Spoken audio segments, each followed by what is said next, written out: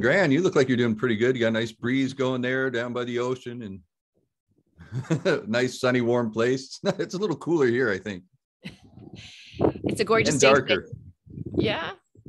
It's a, a little overcast this morning. We had some rain, um, but the sun's coming out this afternoon. So we're going to have a lot of fun here uh, with my uh, girls, the family that, that are visiting. Awesome. Yeah. Well, you can't go wrong when you got family around. So how are you doing, Rob? This is day, where are we at now? Day three, Wednesday, Day three, yeah. Lots going on. halfway through. Halfway through. Oh my Yeah. goodness. Well, and So- today you're going to be talking about uh, the narrowed feeding window, I guess, right? Mainly. Right. And Yeah. of course, our five points of the day and what we decided to do and that kind of stuff. Exactly. Exciting stuff.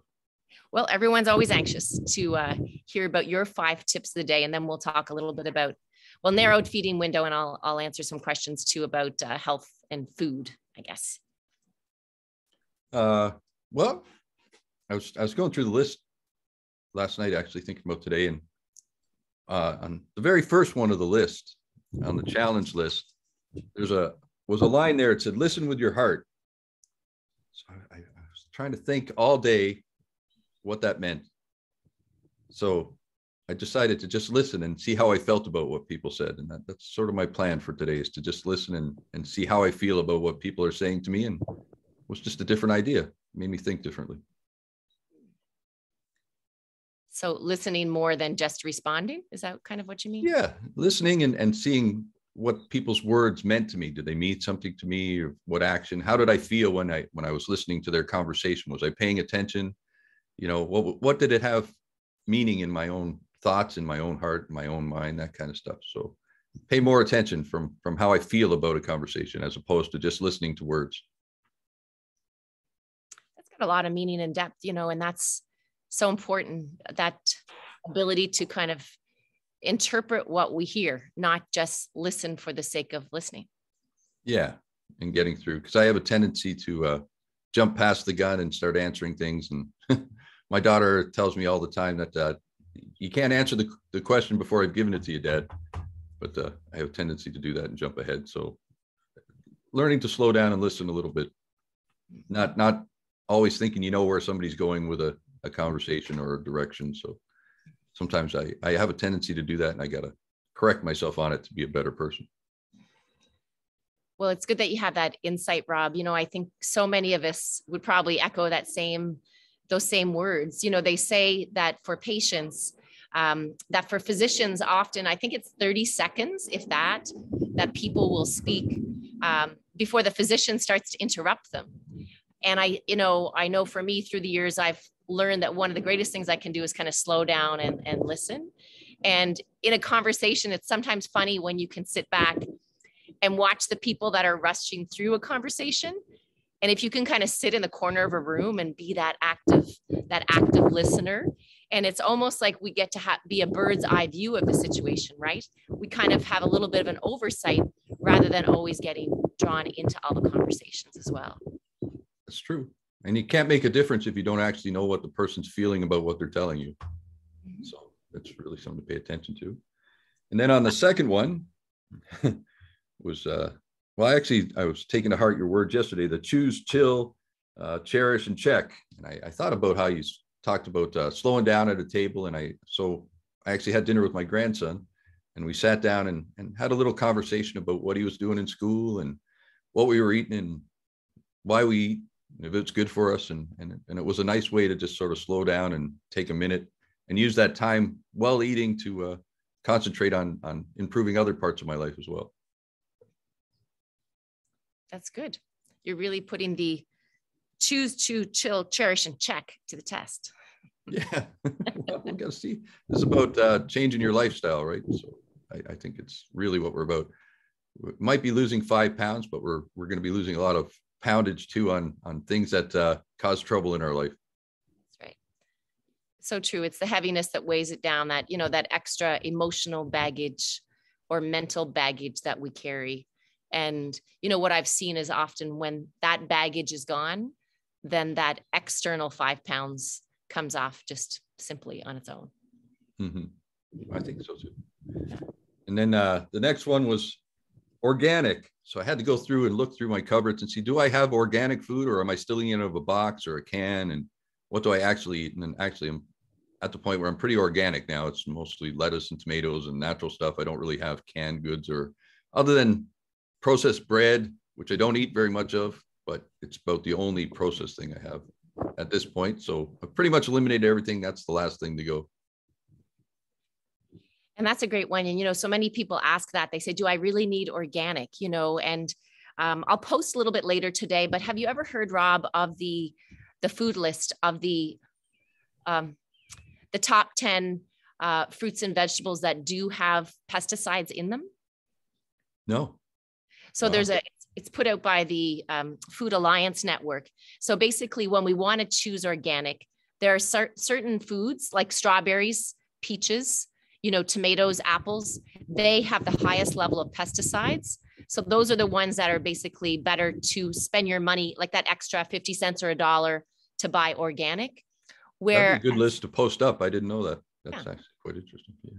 And then where the things with a thicker skin, you know, generally like an avocado, an orange, you know, bananas, generally they have a lower level of pesticide just because they have a thicker skin residue on them.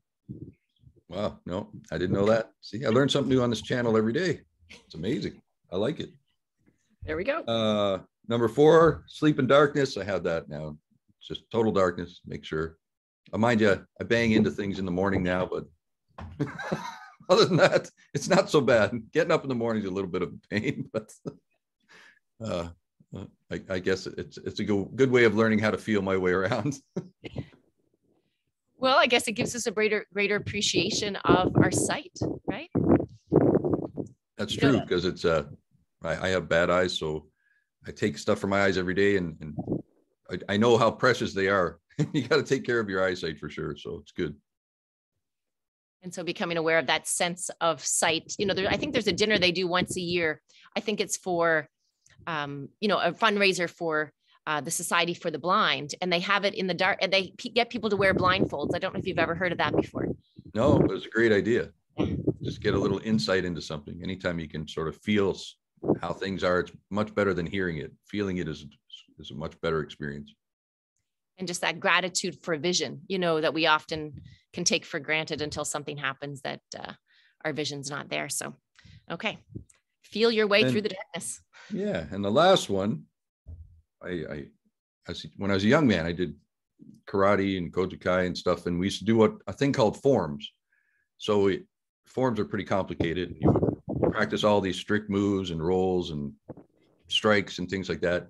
Now I'm a little getting a little old for that stuff, mind you, but uh, Tai Chi is a good form of exercise that brings it down to a level that you can impact your body and, and do it in a nice way. So I, I started Tai Chi again for the first time in years just some of the smaller movements to do in the morning, other than dancing, because you know, dance moves might run out of all those dance moves. But the Tai Chi is something I can do uh, every morning. If there's a particular thing I'm working on, I can use certain moves that will help, you know, guide guide those muscles or those joints to make sure they're getting movement for the day if I'm going to be using them in a certain way.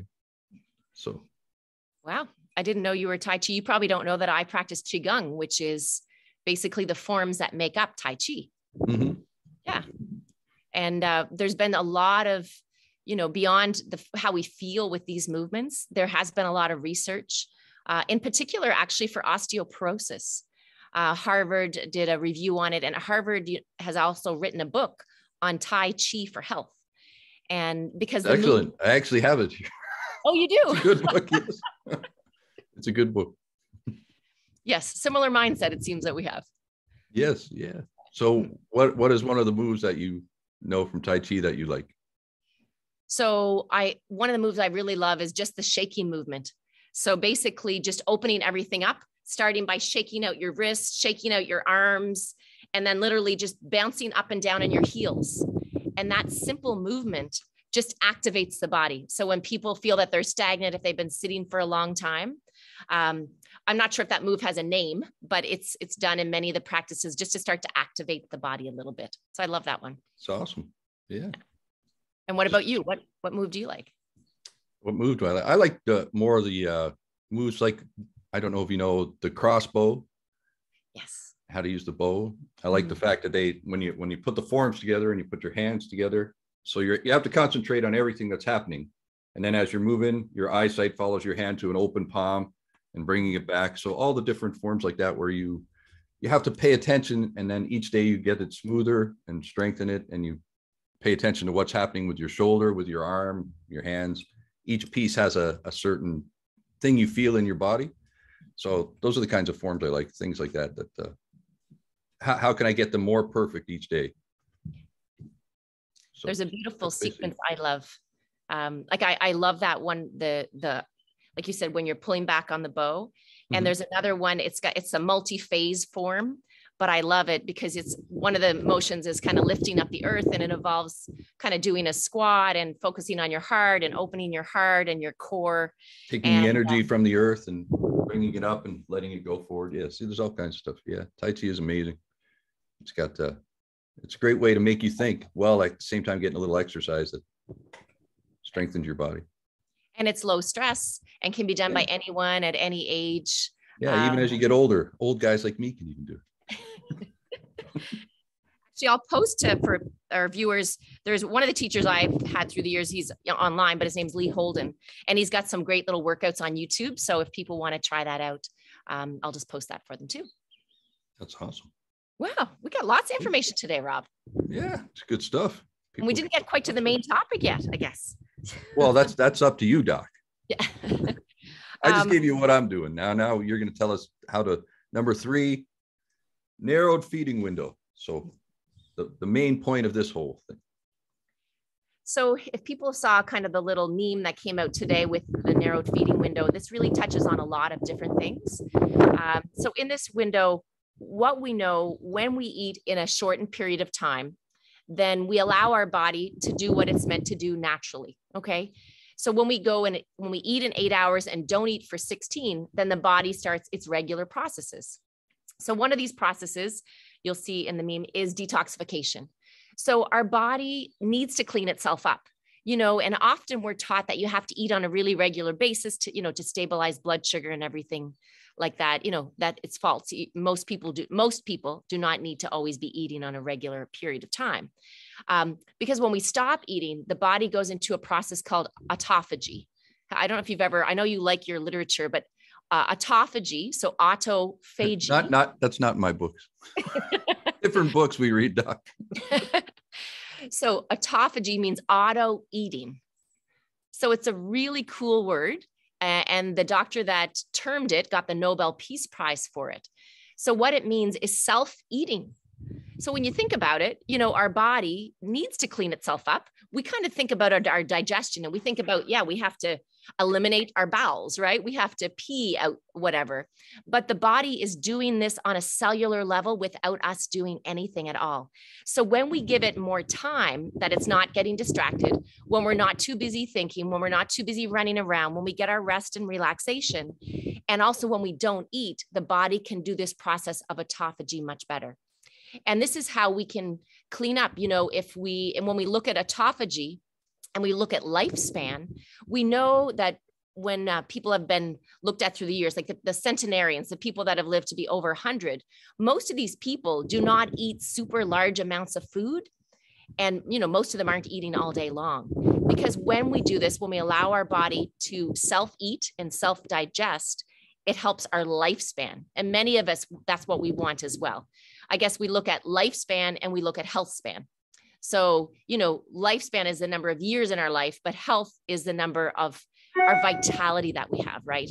Health is how well we feel from a day to day basis. And so that's another benefit of this narrowed feeding window. Uh, we do talk a little bit about, of course, weight loss that can come. So many people have probably heard of Jason Fung. Are you aware of him, Rob, the intermittent fasting doctor from Toronto? Yeah, my brother, Yeah. he's, he's stuck on him. It's not working for him though, he's stuck on him. Well, you know, Dr. Fung, you know, is a, a, nephrologist. He's a kidney specialist. And he asked himself, well, why, what can I do? I'm like putting people on dialysis. What can really help them in the long run? And he started looking at the science and the literature.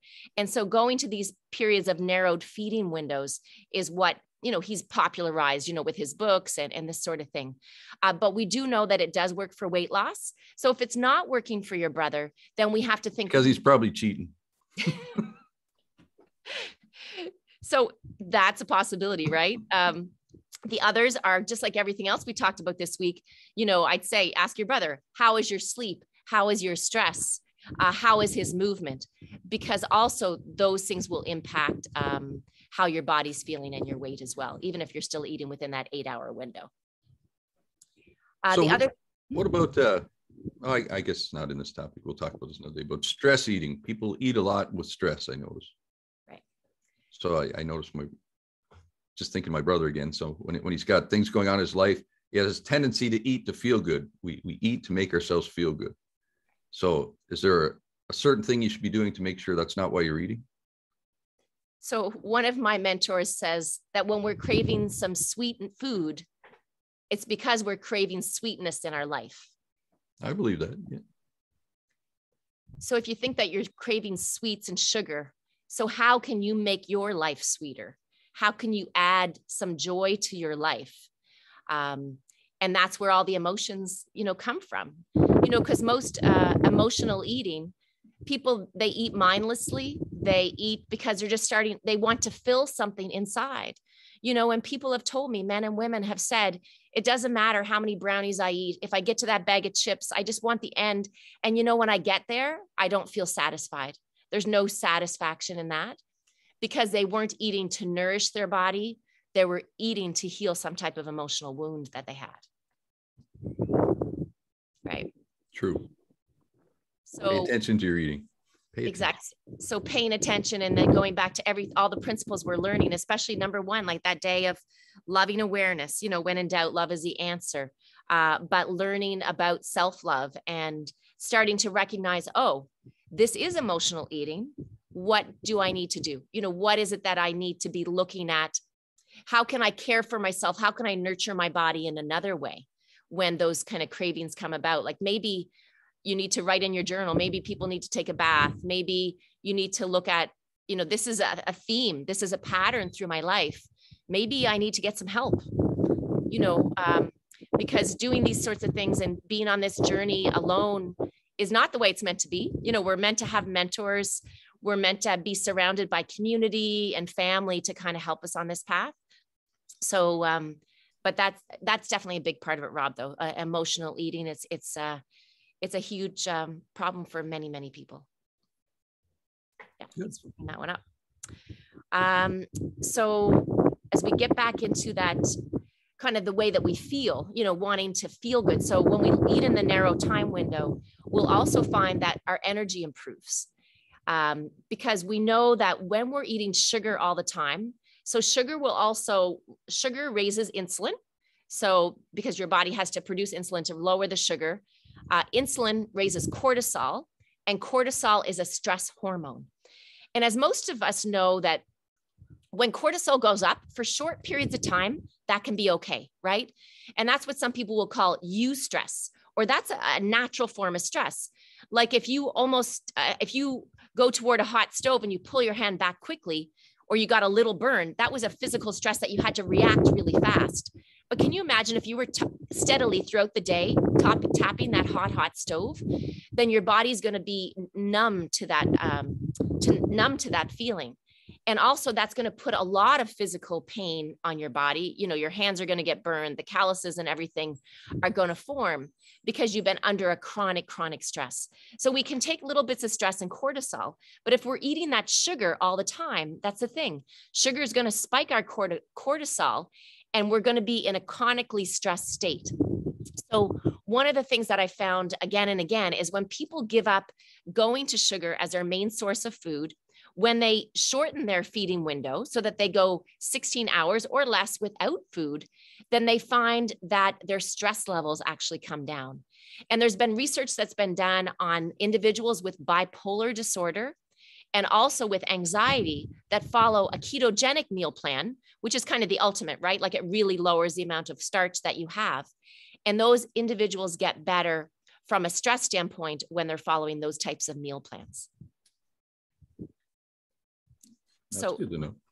Yeah. So it's, you know, when we look at so many of the things that are out there on the market these days, and, you know, you go to your physician, and I see so many people that go in and they just want to have, they're feeling tired, they're feeling stressed out, but, and the doctor might want to hand them, you know, Prozac or Celexa or clonazepams or Ativan, whatever it may be, because people want a quick fix to get them down. They want something to relieve that anxiety. But if we actually start to get to the root and we look at how we're feeding ourselves, how we're nourishing ourselves, what that time window is like, like many people find that they can't get to sleep at night, right? Because they can't sleep well because they've just eaten a meal before bedtime. So maybe they don't need a sleeping pill. They just need to cut out and narrow that window before bedtime to allow the body to release our natural hormones to allow us to relax at nighttime. Wow. That's awesome. Um, and then we have a few other things um, that were talked about. Again, we talked a little bit about energy, but brain function. Uh, we do know now that, you know, Alzheimer's is referred to as type 3 diabetes. And part of that is because of the impact that sugar has on our brain. And we do know that diabetics have a tenfold increase in the risk of Alzheimer's. So if we cut down again the starchiness in our foods, if we narrow that eating window, then for many individuals that can go a much better way to improving our brain health as well. Well, I can always use that. a little bit of brain then, health. So I can remember what's in the next room.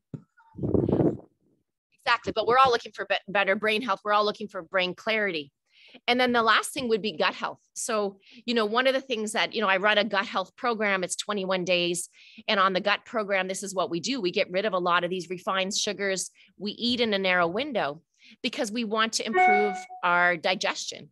So many people have problems with irritable bowel syndrome, diverticulosis, Crohn's, and colitis. You know, we see all of these conditions but the bowel in just a few days like even you know some listeners might have noticed that without all the sugar, without the gluten, maybe their bowels are starting to have a normal consistency now.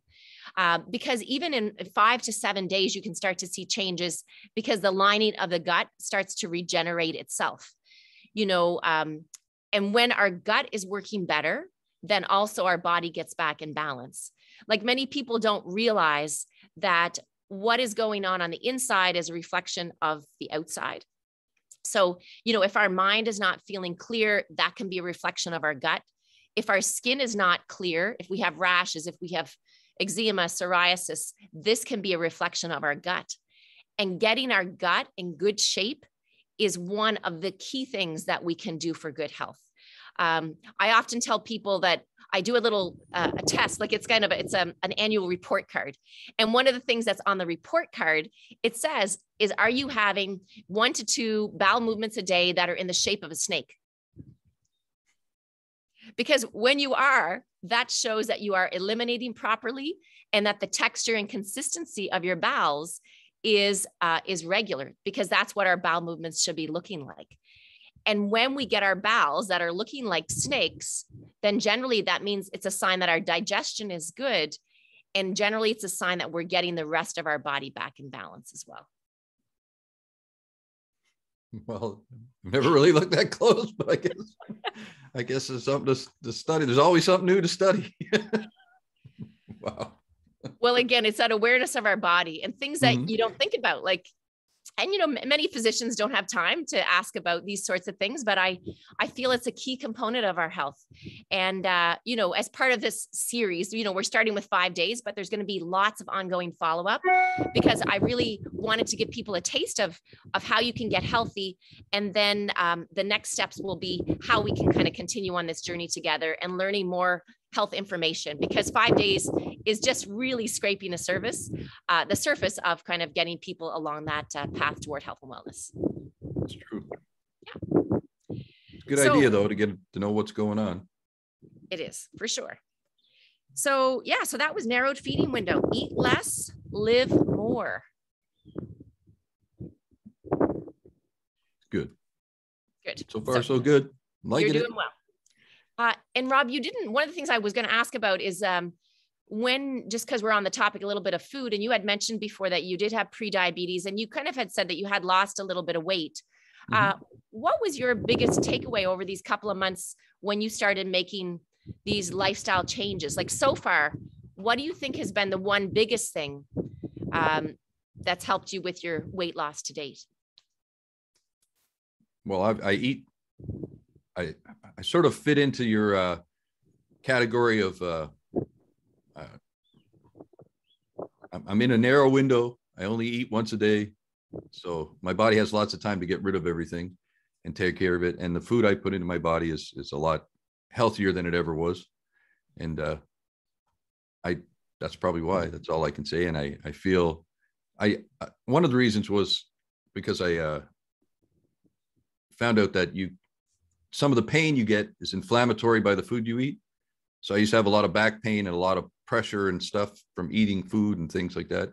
And uh, so I've, I've been trying different things in my diet to try and eliminate inflammation and pain so that I can work through a lot of things anyway. And, uh, and it seems to be working, but on the, the benefit of all of that, I didn't really start doing all this stuff to lose weight. I started doing it to feel better, to not uh, have pain and, and just get some breath back and be a little bit more energetic and be able to do my work and get stronger. And on, and on as a consequence, I started losing weight. I've actually lost a lot of weight, maybe too much weight, but I've, I think I've lost about 18 pounds now in the last couple of months. So it's, it's, it's quite a bit of weight I've lost by changing over to this, this system. Well, thanks for sharing, Rob. And that's kind of the key. So feeling better. So you were feeling, did things that made you feel better. And then the weight loss came as a consequence of that. Yeah. Yeah. Yeah. I didn't start it out as, as a weight loss program. That's for sure. And in terms of your, uh, the number 18, you know, again, you and I can talk offline about that. Uh, but, you know, of course, the amount of weight one loses depends on, you know, their pre-existing status, any health conditions that people have, which is why for those that really, if they have a lot of medical problems, they should have some supervision as they're going through, you know, a major life set and major changes. And many individuals do need to have blood work just to make sure that they are getting, you know, essential vitamins and minerals and um, during these times where they're they're starting to drop a few pounds. So Mhm. It's true. well, this is great, Rob, and thank you again for being such a good sport. I know that people are learning for, from your message. Uh, that it is good uh, for you to share and to see that we're all in this uh, same boat together. So There's no, no special, uh, nothing special going on here. I struggle like everybody else. And uh, and me too. You know this is why this has been so important to me is you know i went through my own health consequences of migraine headaches chronic pain uh, burnout skin conditions. And uh, then this is the message that i can and share with all of you as well. So thanks everybody for tuning in for wednesday. We've got two more days to go. Uh, i'll have some more posts about qigong and uh, healthy organic foods uh, on the facebook page. And we will see you all again tomorrow. Have a great day. Thanks again, Doc. Good stuff.